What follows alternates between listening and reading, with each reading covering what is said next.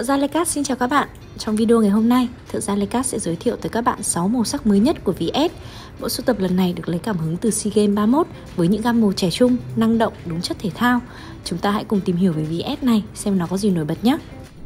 VS được Lecat thiết kế theo size ngang là 21.5 cm, cao là 12.5 cm, đủ lớn để đựng vừa những cái đồ dùng cá nhân như là 1 đến 2 chiếc điện thoại.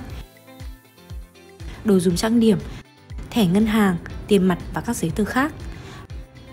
Bản phối màu lần này, Lecas muốn mang đến một luồng gió mới năng động, hiện đại và khỏe khoắn. Nếu là một người yêu thích sự mới lạ, các bạn đừng bỏ qua bản phối độc đáo này nhé. Cam đất, một gam màu nhẹ nhàng, rất tây và nữ tính. Một khi đã sở hữu một món đồ màu cam đất, bạn sẽ muốn diện mãi không thôi vì đây là màu sắc vô cùng nổi bật và tôn da. Nâu đỏ semi, một gam màu vừa mang lại cảm giác ấm áp, vừa pha trộn vào đó một chút cổ điển.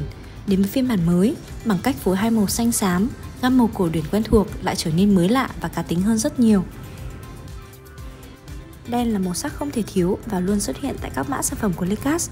Đây được coi là gam màu quốc dân.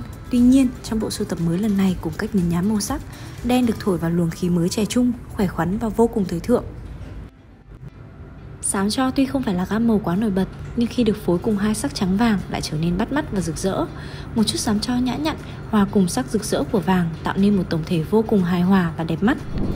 Đây là một trong những phiên bản màu bestseller của Lecas nên tất cả các sản phẩm luôn được các chị em săn đón ngay từ khi ra mắt. Có lẽ không ai muốn bỏ lỡ một VS tiện dụng mà màu sắc lại vô cùng tươi tắn, mới lạ và dễ phối này đâu nhỉ. Lecas mong rằng bộ sưu tập VS lần này sẽ là nguồn năng lượng tươi mới, giúp bạn trở nên năng động và trẻ trung hơn trong mùa hè rực rỡ này.